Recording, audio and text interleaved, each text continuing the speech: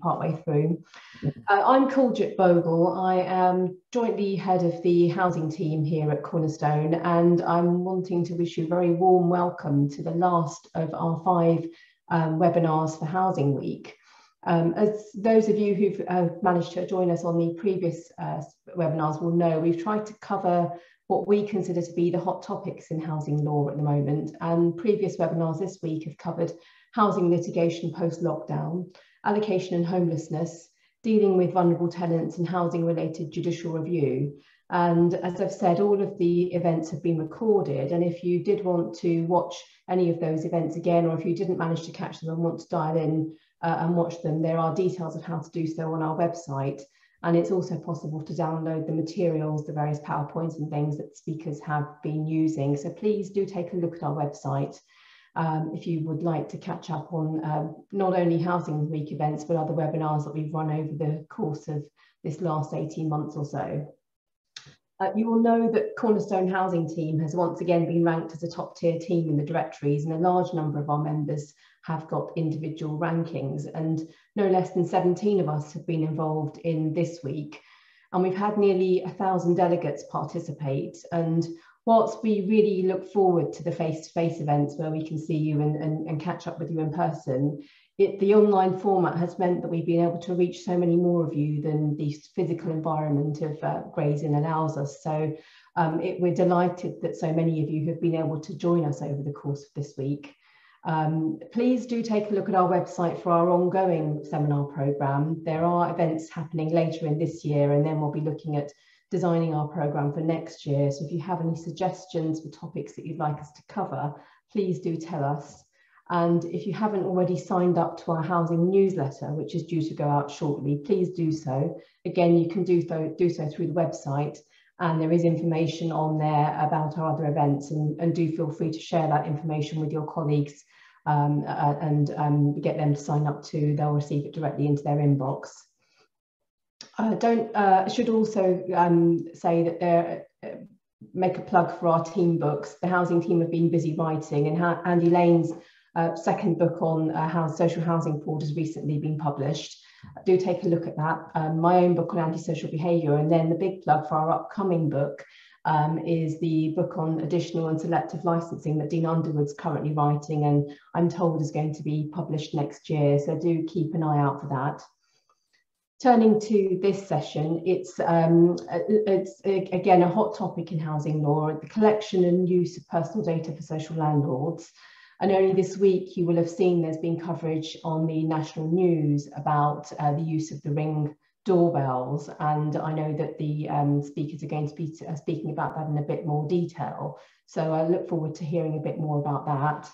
Today's speakers are Matt Lewin, John Fitzsimons and Ruchi Parekh. They're all experts in the field of um, data protection and information law and uh, our members of the housing team who, uh, uh, like all the members of the housing team, have experience in representing local authorities, housing associations and government departments.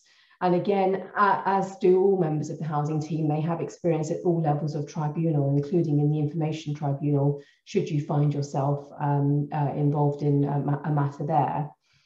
In preparing today's webinar, they have sought to answer all of the questions that were put when you registered for the event but if you do have any other questions, please do use the Q&A function to ask your questions and members of the team will try their best to answer questions either as we go along or at the end if time allows. And um, before, last thing to say before I hand over to Matt is simply to say a huge thanks to members of the team for participating in this week and a special thanks to all of our staff in Chambers who have assisted in making sure that things have run smoothly behind the scenes. and with that, I'm going to hand over to Matt, who's going to talk about his top tips for landlords. Thank you very much, Kuljit, and good morning to everyone. So we're going to start uh, this session looking at it fairly broadly, uh, thinking about data protection for social landlords in a broad sense, uh, and in particular, how to make sure that what you do with personal data matches up with the expectations in data protection law. Um, and I'll be talking about personal data in a broad sense too, because we're not just concerned with tenants' data, we're talking about staff data and other third parties as well. So the overviews on the slide, we'll be looking at three important areas of data protection compliance. Firstly, data protection policies. Secondly, tenants' rights, but bearing in mind that these rights can actually be exercised by anyone whose personal data you're processing, but for the most part, they tend to be more challenging or more contentious when they're exercised by tenants. And thirdly, we'll look at data sharing. So to start with data protection policies, um, policies are a really important aspect of data protection compliance. Um, one of the main innovations of the GDPR is to introduce a principle of accountability. Uh, accountability means that not only must you comply with your data protection obligations, you need to be able to demonstrate your compliance. So it's a little bit like that um, maxim that lawyers are very fond of justice needs not only to be done, but seen to be done. Accountability is similar. So a good set of data protection policies is one of the best ways to show your accountability. They turn general principles, which I think John will be talking about in a bit, like data minimization, purpose limitation, into real, meaningful actions. So what might policies need to cover? I've highlighted a few of them on the slide and they'll pop up as we go. Um, so the first point, general and specific policies, most social landlords that we work with at Cornerstone are pretty big organisations. They manage a lot of properties with a lot of staff members, a lot of tenants involved. So this means they're processing large volumes of personal data all day, every day.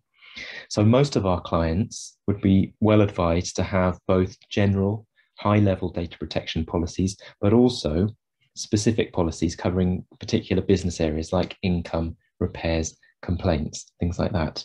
So a general policy, that's going to apply across the whole organisation and it should set out some key principles or objectives for your staff to work towards.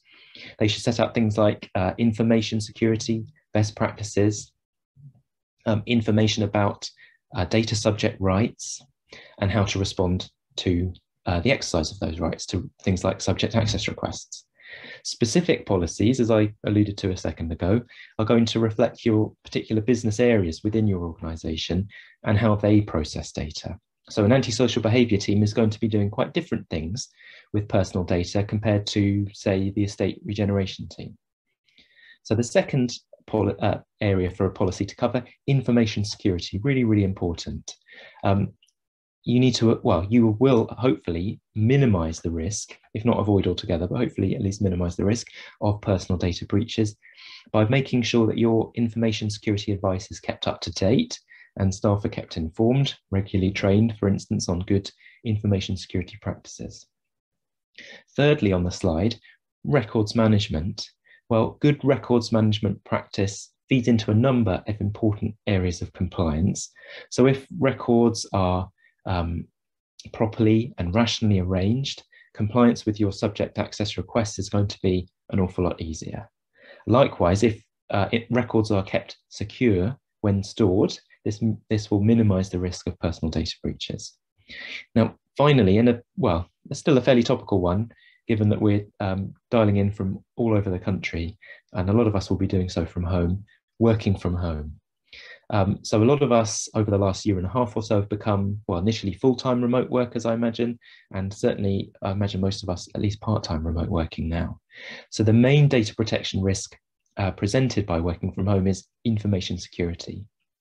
So you might be using a personal device, it might be shared with other members of your household, it might be on a home internet connection to do your work, and others might be using um, you know, a company issued device.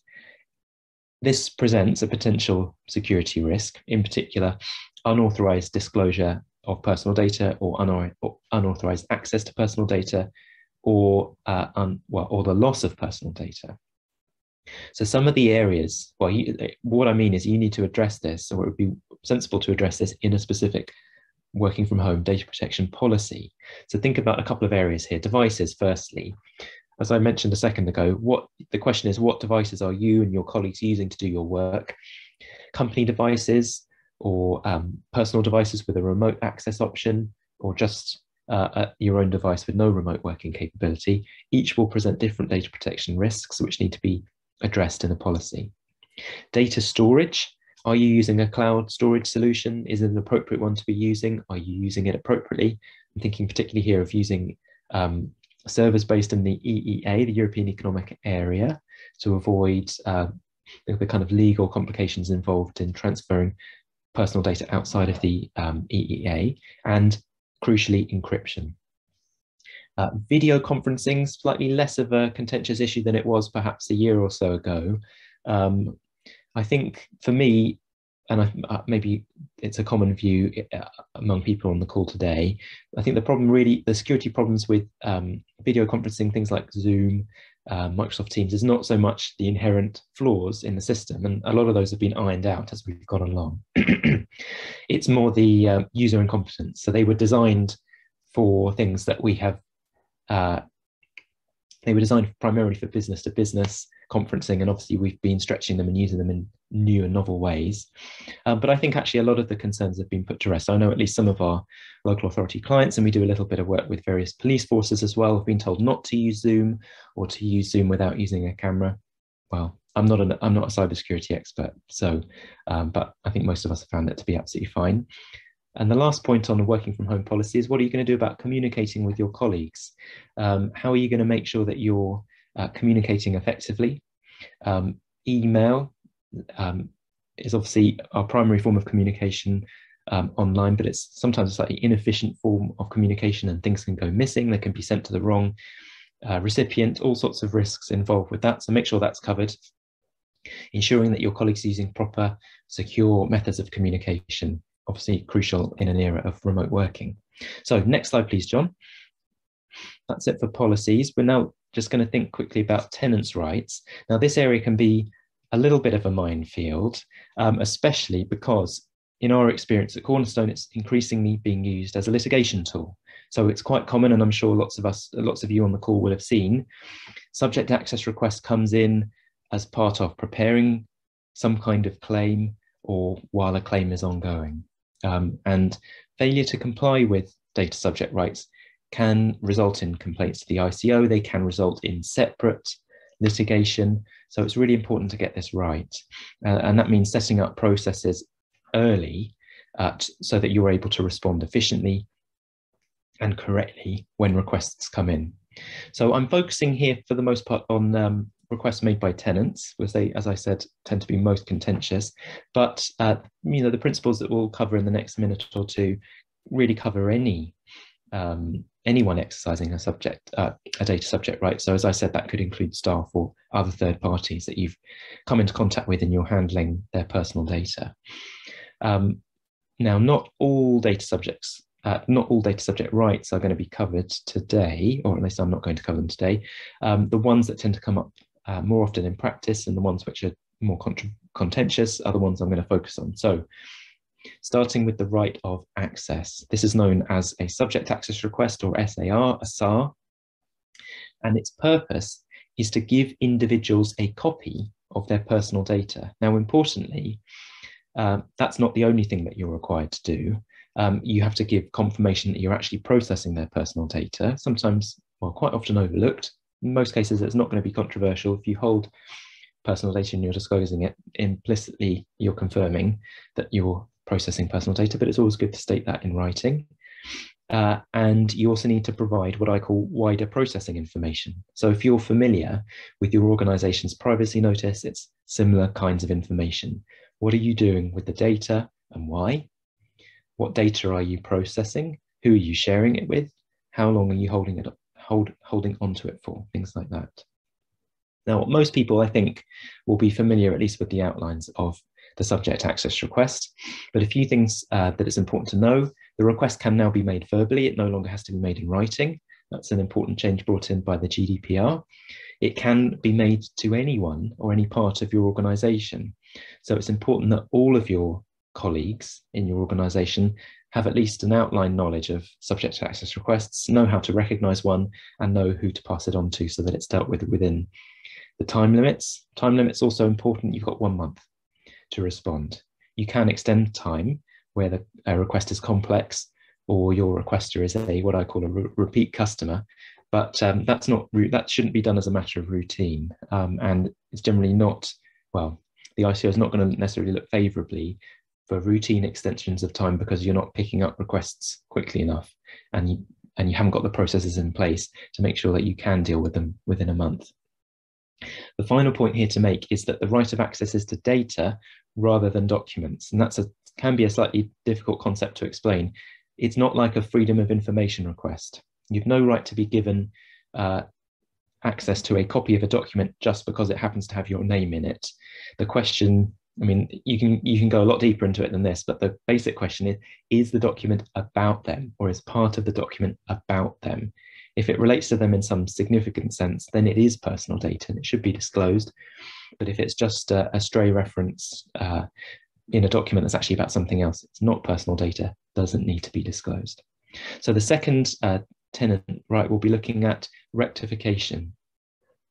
So most, uh, a lot of people, a lot of members of the public are familiar with the right of access, less familiar, although increasingly familiar with the exposure uh, of data protection in the kind of general conversation, thanks to GDPR, rectification is one of the rights that I'm seeing more and more of. Um, so this is the right to have inaccurate personal data rectified or corrected, in other words, or completed if that data is incomplete. So data will be inaccurate if it's incorrect or misleading as in, you know, in reference to some factual issue. In most cases, it will not apply to expressions of opinion, which are inevitably subjective, they're not factual. Um, so examples of when this may be relevant for social landlords to consider if something negative, something adverse is noted on a tenant's file, they may not like that and they want to get that removed or corrected or at least have a challenge to that uh, note recorded on the file to say that they dispute the accuracy of that note. Um, to give an example, might, you might uh, be you might have a sensitive let, and the tenant is that an applicant is therefore denied is is not allocated that property due to something in their background, something held, some information that's recorded on their file, and they might wish to contest that information by seeking rectification. Okay, so if you want to uh, maintain that information, you'll need to be able to justify it to the individual. If data is rectified, then any third party who received the inaccurate data should be contacted and informed that the data was inaccurate, it's now been rectified. Um, if we move on to the next tenant's right, restriction, objection, and erasure, those are actually separate rights, but I've kind of bundled them together for convenience. So in broad terms, this is a right to limit or prevent personal data from being processed. So a restriction means a temporary limitation on the processing of personal data. It's usually exercised as a holding measure while a decision is being made on a request for rectification or erasure. An objection means preventing data from being processed for particular purposes or altogether. It's an absolute right where you're engaging in direct marketing, but it's otherwise not an absolute right. So for most, you may well get a lot of requests um, objecting to your processing, but if you're doing it for you know general housing management functions, you can continue to process even where an objection has been uh, submitted. Uh, but it will depend on what exactly your lawful basis for processing is and what your justification for overriding that objection is. Finally, um, the right of erasure. This is the uh, better known as the right uh, to be forgotten. It's relatively well known thanks to high profile litigation involving Google and the rather cynical warning that Google now puts at the bottom of its um, search page explaining that this might not be a complete record um, of information available online. Um, it applies in certain circumstances and will include where it's no longer necessary for you to hold personal data for the purpose it was originally collected for, or where it's been found that you've been processing data unlawfully. Finally, on the slide, breach notification. Um,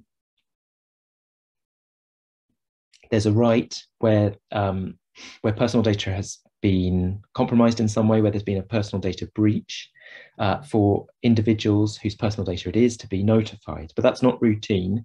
It's only where there's a high risk to their rights and freedoms. So hopefully in most cases, the data loss will be minimal or it has been successfully contained. There won't necessarily need to be a right to notify the individual. But uh, I've certainly seen plenty of pre-action letters where they, the solicitors will point out, well, have you notified the ICO? Now, in most cases, it won't be necessary, but it will it will be necessary to confirm that you haven't done that. And it's important too to, to record the reasons why you decided not to do that, having consulted with your data protection officer. So final section in, in my talk is data sharing. I'm thinking mostly here about um, sharing uh, information outside of the organization with third parties, but it's also an issue when you're sharing data internally as well, especially for local authorities sharing data between different departments. There are really two kinds of data sharing that, um, well, it's helpful to categorize them, I think, in two ways routine and occasional. Uh, ideally, a policy should be in place to cover both situations.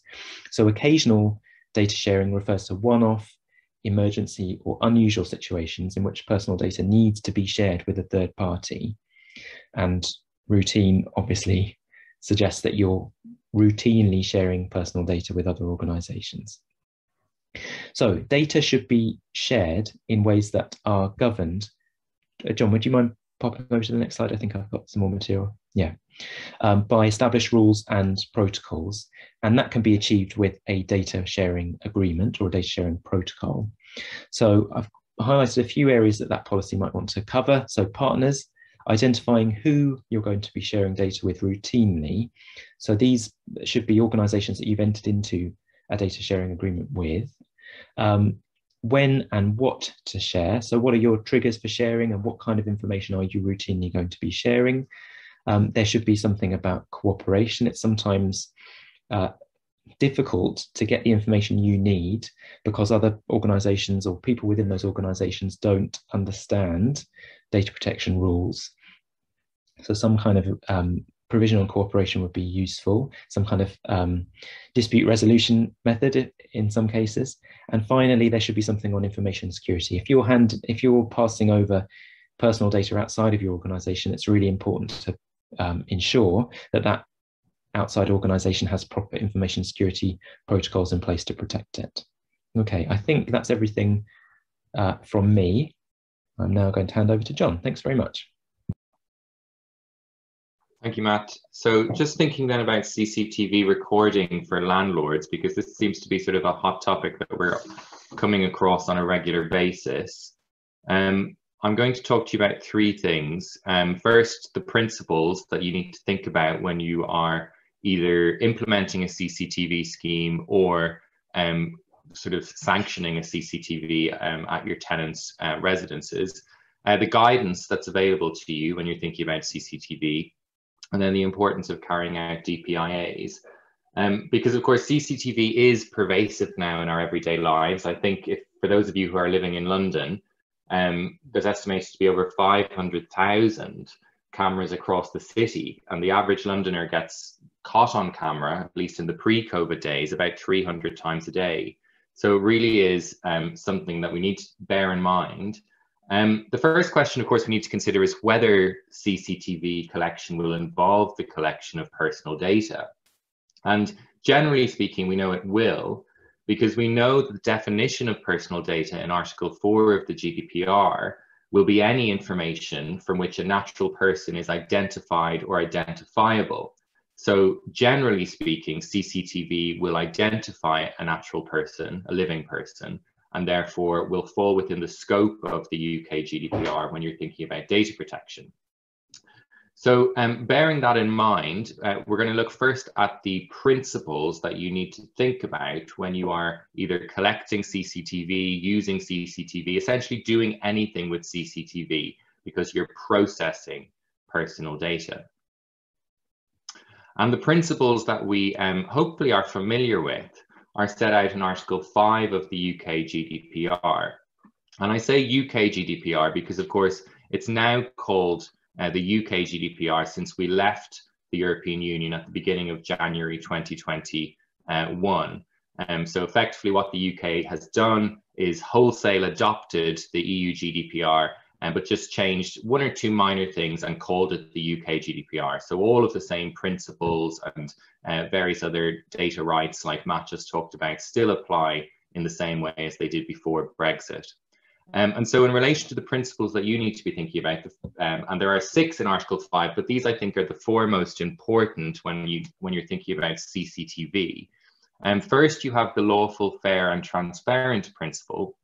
And what that effectively is saying is that whenever you are um, involved in, in, processing personal data, um, and in particular in relation to CCTV, you need to have a lawful basis for doing so. And so you need to identify um, where that lawful basis is. It might be in Article 6 of the UK GDPR. It might be also in Article 9 if you're processing special category personal data. Um, but you should be able to point to some sort of lawful basis for anything you're doing with um, CCTV. You should also bear in mind the fairness issue, which is that you should be thinking about the reasonable expectations of a data subject. So, you know, cameras should be not hidden away in indiscreet locations, but should be fairly obviously placed so that data subjects are aware that they're being filmed. And that links into the transparency obligation, which of course is the fact that you need to be clear and explicit about how you are processing um, people's personal data and the fact that you are processing personal data. And of course, the way we fulfill the transparency obligation in the context of CCTV is usually to have a privacy notice. Um, so that will be something like a clear notice up on the walls where the cameras are, um, setting out something like what is being done. So, you know, that images are being monitored. Uh, why is it being done? So the reason, maybe prevention of crime or public safety reasons. Um, and of course, who is controlling the scheme? So the name of the landlord or uh, with a number to call or an uh, email address or website um, so that people can access uh, further information and of course vindicate any of their uh, data subject rights should they wish to do so, like making an access request. Um, so for example, the ICO has guidance, which I'm going to come to, which suggests that at a bare minimum, a transparency notice should say something like, images are being monitored and recorded for the purpose of crime prevention and public safety, the scheme is controlled by X Borough Council or X Housing Association. And for more information, call this number or go to this website. The next uh, principle is the purpose limitation principle. And that's really important in respect of CCTV because you need to at all times be able to justify your use of CCTV by reference to a purpose. And again, that purpose will usually be something like um, preventing crime, antisocial behavior, public safety, you know, linked to your housing management functions, um, essentially. Um, but what is important is that the purpose should be continuing for the entire time you're carrying out the processing. So um, just because the purpose exists at one stage when you initially set up the scheme doesn't mean you can then just um, have the scheme set up and forget about whether it still serves a purpose the purpose should be continuing from, uh, from the moment the scheme is set up. Turning then to the storage limitation principle, and we've had a few questions in advance of this webinar about storage. Um, this is something, of course, you have to have, bear in mind whenever you're processing any personal data. Um, but it's particularly important in the context of CCTV because CCTV is a huge amount of personal data and it's um, obviously being built up on um, your data storage devices regularly. Um, so in respect of storage, from a practical perspective, you should bear in mind that storing lots and lots of CCTV costs money in terms of backup and data storage. So you don't want to store it for too long, really. Um, so really, the ICO suggests that footage from a um, surveillance system shouldn't be kept for um, five weeks, say, merely because the manufacturer's settings are sort of set as that as five weeks as a default you need to be thinking about your own needs and how long you think you need to store the data for. Um, and you shouldn't be storing data as a just in case. You should have a, a purpose for the storage. And generally, we advise um, people who are storing CCTV to only store it for a few days, really, because if there's been any incidents, they'll have been reported to you and you'll be able to um, access the CCTV. You don't want to store more than that because that gets you into all sorts of difficulties with subject access rights where you're having to troll through really old footage uh, because someone has made a subject access request or indeed a rectification or other request of you.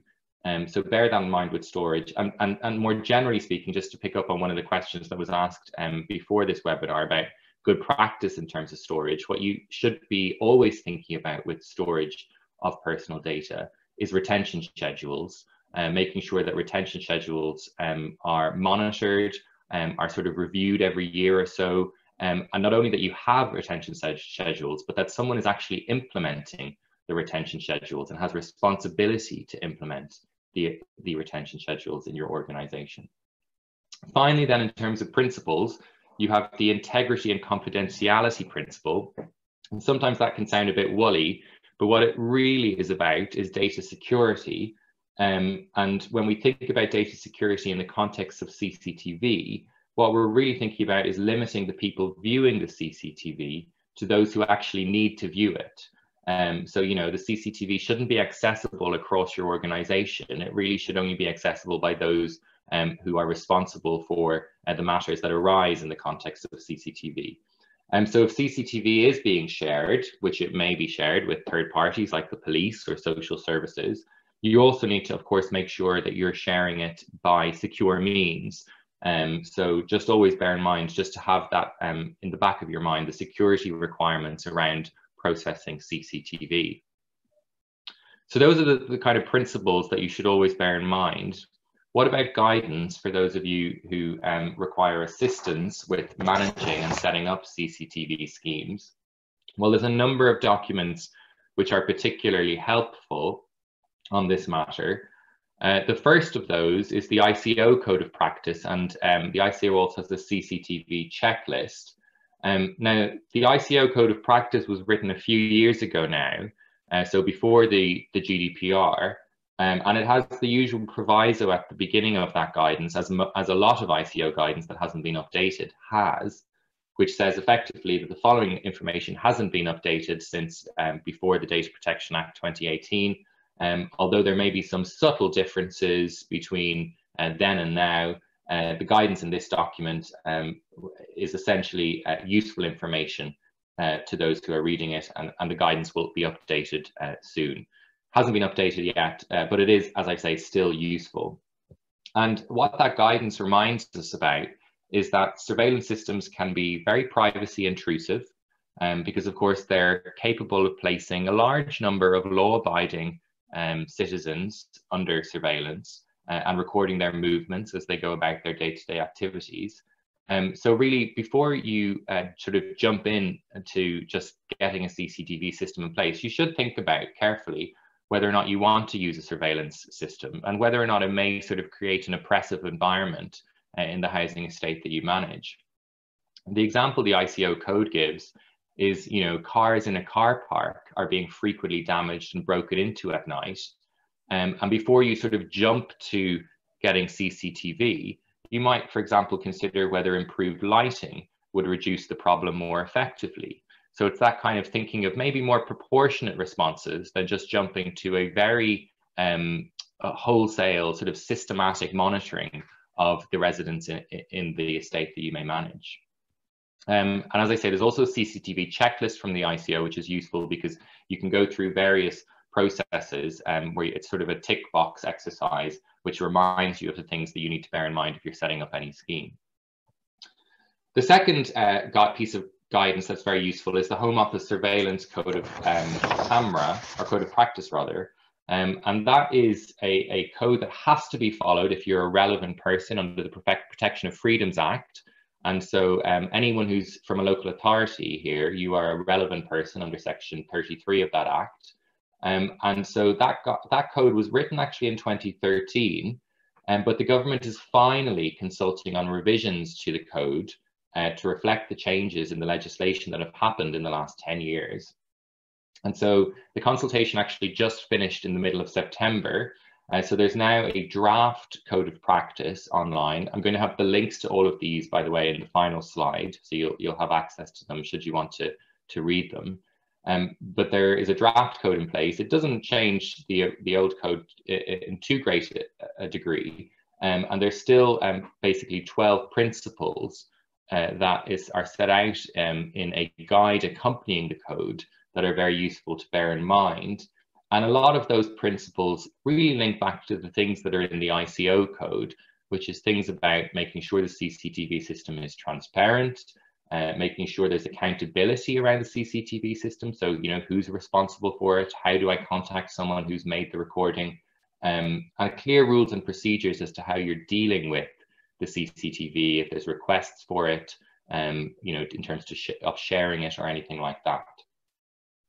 Um, alongside uh, that code, there's also a checklist. Um, so there's uh, you not only have the, the ICO checklist, you also have the Surveillance Camera Commissioner checklist. And that asks you to consider things like um, what is your system for? So fundamental questions like what's your CCTV system actually for? Are you reviewing its use? Um, have you carried out a DPIA, so a data protection impact assessment, which we're going to come to in a bit more detail? Um, do you have the signage in place? Who's responsible for it? How long are you keeping images for? What's your policy on disclosure? All those questions that are really quite fundamental to making sure that you're complying with the relevant legal regimes. Finally, then, in terms of alternative sources, on top of those two, uh, what you also have, um, which I think is actually a very useful uh, tool for particularly local authorities, is the annual reports of the Investigatory Powers Commissioner. And uh, these tend to um, sort of lag a bit. So the, the most recent report published was in December 2020, and I think that was the 2019 annual report. But it gives very useful insights into best practice and indeed where local authorities have gone wrong in how they are surveilling um, the, either their tenants or more broadly um, just general areas um, that the public are accessing, such as um, you know village green areas or high street areas and all of that kind of thing. So that's quite useful guidance too. So that's the guidance. And then um, one of the things that you always need to be thinking about with CCTV um, are DPIAs. So as I say, a DPIA is a data protection impact assessment. And these um, used to not be compulsory, um, but they were simply encouraged. And then in Article 35 of the UK GDPR, there were certain circumstances identified which said that a DPIA uh, is compulsory or mandatory. Um, and the mandatory circumstances basically apply to any time you're introducing uh, CCTV recording because you have to do a DPIA when you're going to be engaged in systematic monitoring of a publicly accessible area. So really, in those circumstances, the DPIA is required. And what a DPIA essentially is, it's basically examining the privacy impacts of a scheme and then trying to think about ways to mitigate the privacy impacts um, through, a, through a sort of uh, five or six stage process. Uh, for those of you who haven't come across them, there are very useful templates available on the ICO website uh, where you basically go through each step carefully. And this isn't something that has to be done by a lawyer or someone necessarily with data protection experience. I have a lot of lawyers who instruct me who effectively outsource the DPIA to their to their clients within the organization and then sort of just um, review the DPIA because it forces everybody to turn their mind to what exactly we're doing, how it's impacting on, on privacy concerns and how we can minimize that privacy impact.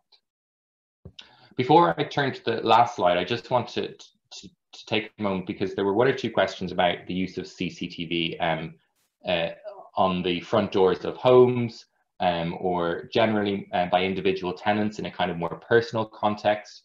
Uh, and I think generally speaking, that type of CCTV will fall under the householder exemption of the GDPR, um, uh, which effectively means that if you are just recording within um, your household or um, you're effectively exempt from complying with the requirements of the GDPR.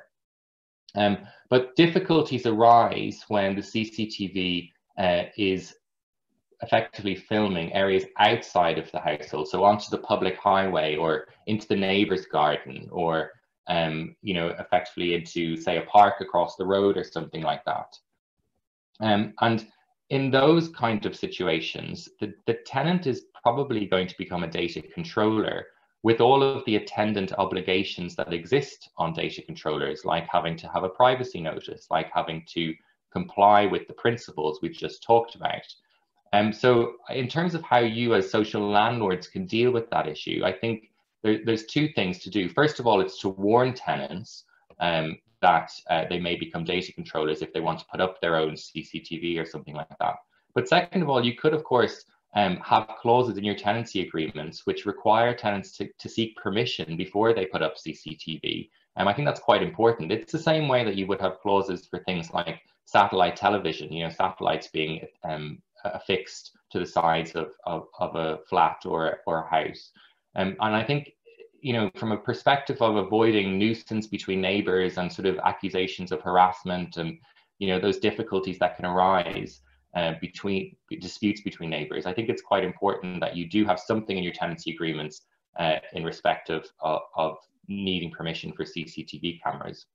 Um, those of you who may have uh, been following the news yesterday may have seen that there was a story in on the BBC uh, involving a county court uh, decision in Oxford concerning a woman named Dr. Fairhurst, who uh, was living in a privately um, private home, and her next door neighbors got an Amazon Ring doorbell, and uh, they had actually invited her around to um, view their new, you know, security setup, which they ostensibly had put in place to deter um, burglars from uh, visiting the home. But she found it very disturbing because not only was the um, Amazon doorbell recording sort of across towards her property, it also included an audio recording um, ability. And uh, in, in that case, which was before Oxford County Court, just as I say um, earlier this year, and the decision was yesterday, the judge found that the person who had installed the Ring doorbell was in breach of the GDPR and was um, effectively harassing um, his neighbour, Dr. Fairhurst, um, because of uh, the fact there was this uh, very intrusive audio recording um, of anything going on outside the property and also um, was capturing her images when um, she was outside of his property as well. Uh, so it's something to, again, bear in mind. Some of you, even in your personal lives, might want to bear that in mind as well if you have ring doorbells, uh, just that you may be uh, liable uh, in a county court claim against your neighbours, and and you and you have to, if you are recording anywhere outside the property, whether it be audio or film, uh, bear in mind that you might be subject to the obligations of the Data Protection Act. So finally, as I mentioned, this slide here, you have um, just the documents I mentioned. Obviously, all these slides will be uh, distributed to you. Uh, you've got the ICO code of practice there. You've got the IC ICO CCTV checklist, the surveillance co camera code of practice. That's the existing one. There's a guide to the 12 principles in that. Then there's the draft code, as I say, that's been consulted on. And you've also got a DPIA template there from the ICO. So hopefully that arms you with the tools that you need uh, when you're thinking about CCTV. But of course, if there's any questions um, about this issue, um, feel free to drop them in the chat now, or of course, you can email any of us after uh, my talk or after the talks are finished. So that's me finished. And finally, we're going to move on to Ruchi, who's going to sort of take a deeper dive into subject access requests. Ruchi. Thanks, John. That was um, really useful um, stuff on CCTVs. So um, as John mentioned, I'm going to John um, do subject access requests and I'm um, conscious that Matt has obviously given you a flavour of what's involved.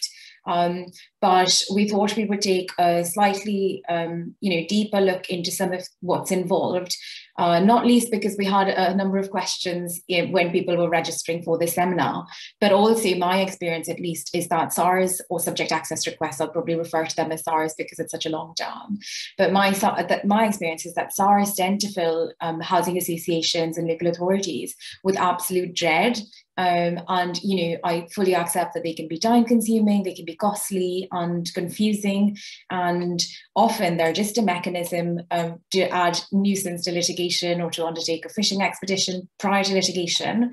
But that's not to say that you don't need to take them seriously and you don't need to comply.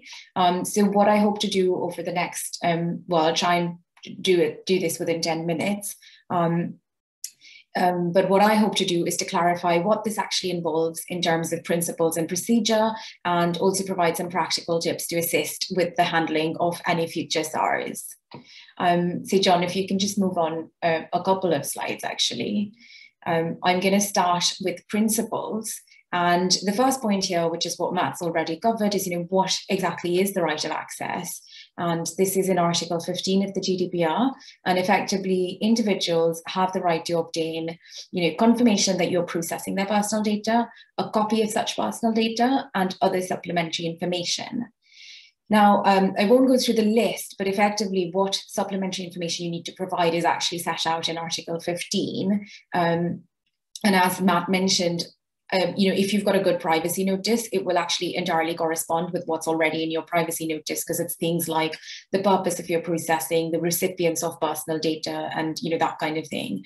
And so the ICO has in fact advised that where you've got a sufficiently robust privacy notice when you're responding to a subject access request, rather than setting out everything again, um, you would be entitled to just um, sending um, across a copy of your uh, privacy notice.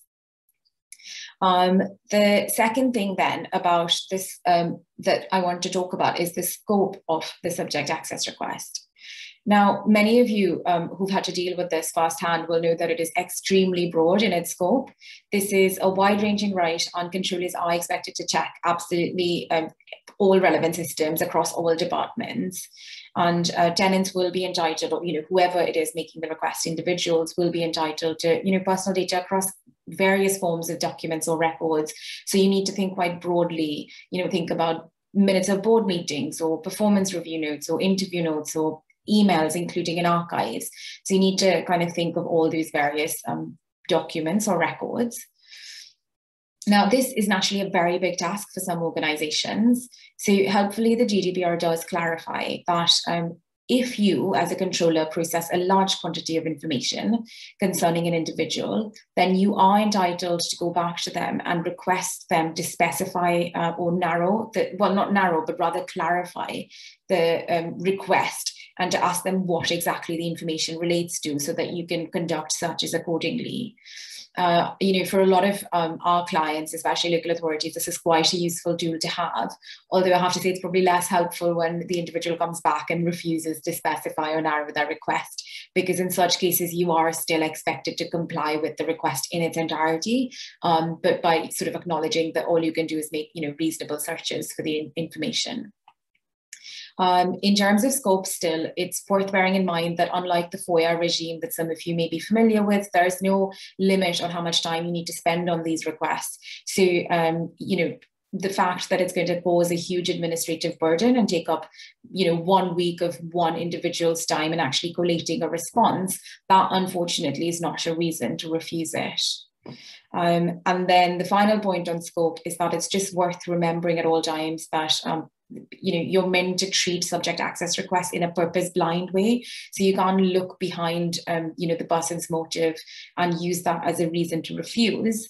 Although um, i'll just say a little more on that in a moment um, and actually that probably does segue into exemptions. So i've used exemptions as a catch-all but actually there's lots of different things within it um, and the first thing um, which ties in with the purpose blind stuff that I was just mentioning is that you can refuse to comply with a subject access request if it is manifestly unfounded or manifestly excessive. Now, uh, unhelpfully, these terms are not defined in the legislation, and there's no reported cases on the precise scope of how these exemptions will work. Um, but there is very detailed ICO guidance on the subject, so I would really urge you um, or recommend you to consider this. But in essence, manifestly unfounded may apply where an individual clearly has no intention of actually exercising their rights. So, for example, they might say things like, well, I'm making this request, but I'll withdraw this request if you credit my rent account with a hundred pounds or something like that. Um, or other examples that I've come across is where you know requests are repeatedly made to one employee, and it seems to be sort of a targeting harassment type of tactic, as opposed to anything to do with um, data protection. Uh, so um, yeah, I, given the time that we have, I won't go through all the other examples, but um, you know, if you feel as though it might be manifestly excessive or unfounded, I would just ask you to consider the ICO guidance on this. The next thing to consider then under exemptions, and again, it's not really an exemption, but it's highly relevant, I think, particularly in the field that many of you will be working, which is what do you do when the um, uh, request is made, but that the data that you're processing um, also contains third-party data.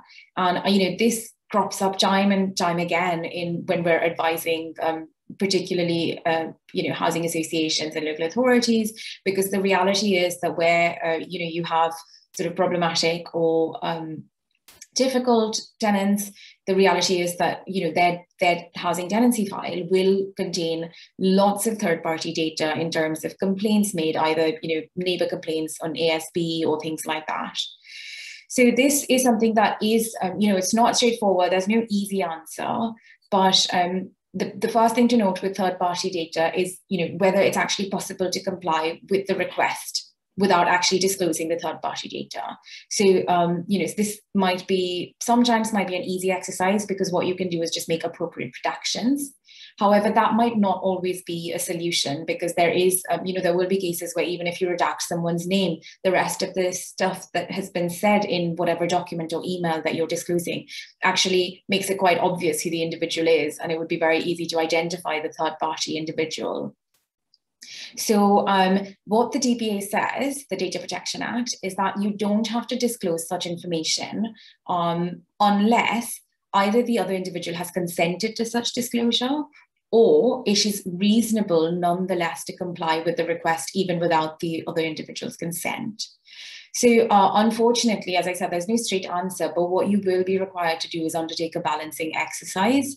And there are a number of factors that you will need to consider, um, which are set out in the Act. And again, there's useful ICO guidance on this. Um, so, you know, you might, you, that there, it's not a closed list and there's lots of things you will need to think about, but one of them is, or some of them are, uh, you know, the type of information that you would be disclosing, any duty of confidentiality you might have with a third party, um, you know, any steps that you've taken to actually try and speak to the third party and ascertain whether or not they would be comfortable or whether or not they would consent to their information being disclosed in such a way. Um, so these are all the things you need to consider. And um, I think Matt and John have, you know, touched on this already, but it's very important when you go through this kind of process to document somewhere what decision you've taken and why, because uh, these things you know often down the line lead to some sort of complaint and there you know there's nothing better than having a contemporaneous record of what you've done and why you've done it to sort of um, uh, you know, alleviate any concerns that an, the ICO might have if they are then investigating this sometime down the line. Um, right, so then the final other exemption is actually a whole list of exemptions which are carved out specifically in the legislation. Um, I'm not going to go through this um, in any detail. Um, I know that there was a question about this in the chat, which I've tried to answer.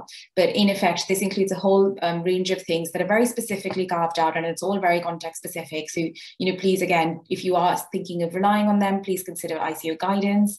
But it, you know, the things that crop up most frequently are things like data that is caught by legal professional privilege, and also personal data that is processed for crime um, related purposes. So if you're you know investigating for the purpose of preventing crime or detecting crime, then again that that personal data is um, exempt from a subject access request. Um, turning then to procedure, um, what's um, not on my next slide is that, um, and something that Matt has mentioned is that the request can be made in any form. So like it could be on social media, it could be made verbally. So you do need to ensure that you've got a proper system of recording any requests that are being made. Um, but then talking quickly about time limit, this is um, the, the the statute says that it must be complied with, with un, without undue delay and at least within one month of receiving the request. It is possible to extend by a further two months, but this is only where the request is um, complex or you have received a number of various requests from an individual, um, you know, on the same day, and it would just be impossible to get back to all of them within a month. In terms of fees, as a general rule, you cannot charge fees.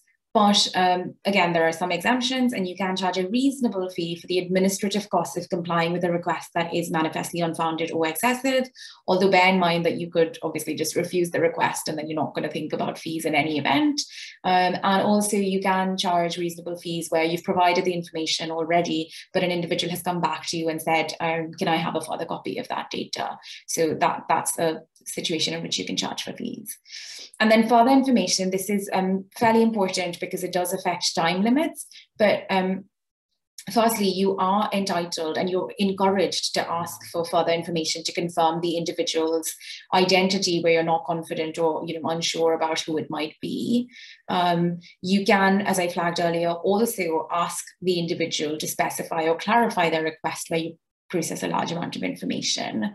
Um, and in both of these cases, just bear in mind that the time limit is effectively stopped until you receive that information back from the individual.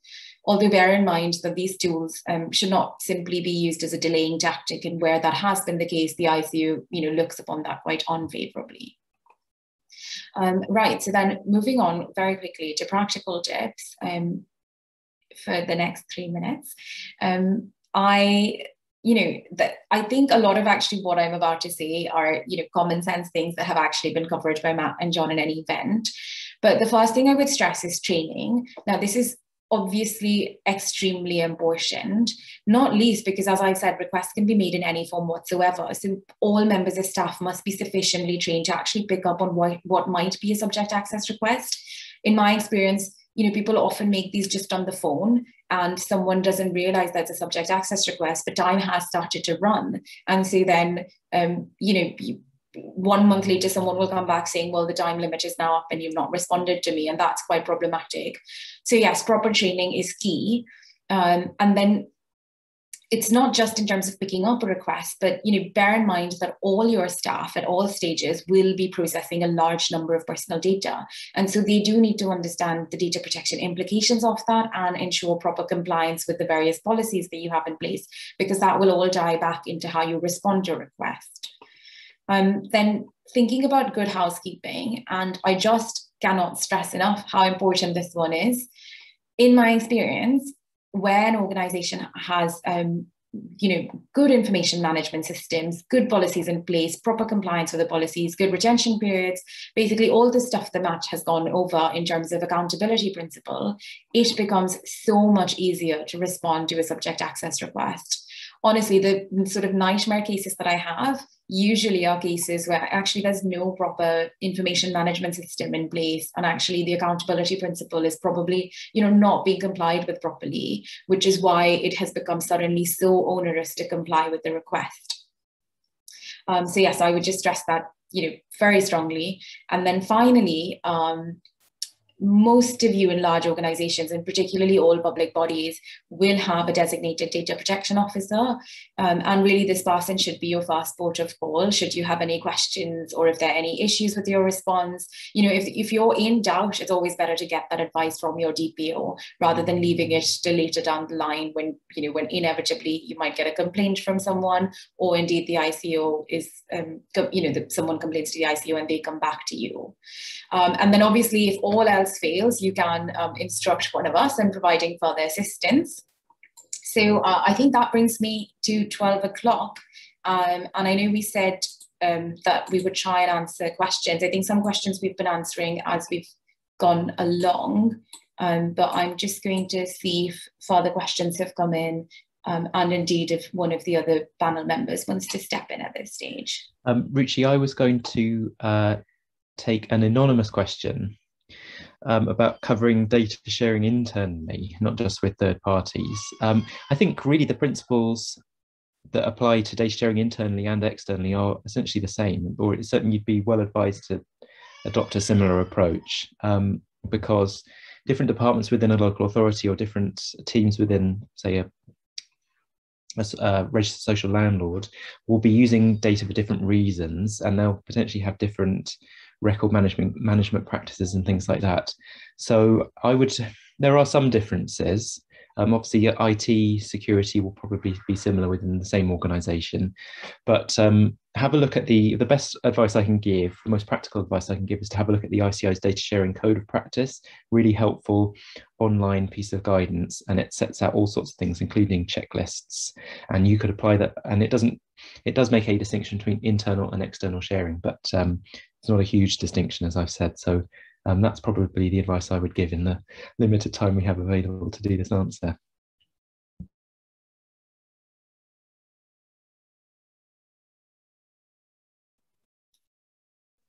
Right, so I think um, unless there are any other matters that any of the speakers want to deal with, it is now a minute past 12. Was there anything that any of you wanted to deal with or are you happy to follow up afterwards as appropriate? I think I'm happy to follow up afterwards. I've just seen two things that I think we can answer very quickly. Um, but obviously, people who do need to leave appreciate that you want to head off and, and lead your lives. Um, but one of the questions was about body worn cameras for officers. And actually, you know, everything that John has already talked about in terms of the underlying principles and how you treat CCTV recordings, the same considerations will apply. I think that's right, isn't it, John?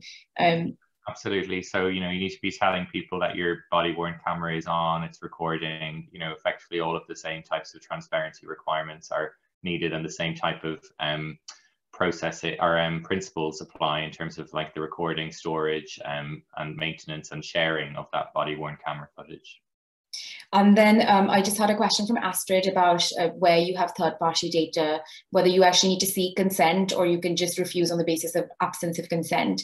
Um, I um, uh, the, the short answer is um, you can't simply refuse based on the lack of consent without actually um, reaching out and make you know taking some steps. As i said there's a list of factors that you must consider in the act and one of them is what steps you've taken to ascertain whether the other individual would consent. So unfortunately you do have to um, make some efforts there. And i would say even if you don't have consent if consent isn't forthcoming there may still be um, a reason why it's reasonable to share to to comply with the subject access request. So consent is not sort of a, a trump card either um, in, in, that process. Yes, absolutely. Um, right. So I think um, that's probably all we have time for, Kuljit, if I can just hand back to you. Thank you very much to all of you. That was um, incredibly informative. Just to say thank you very much to all of the delegates to, for joining us. There is a recording available if you missed any of the content. And as I said, um, do get in touch if there are any topics that you'd like us to consider in our forthcoming seminar programme. All the best. Thank you.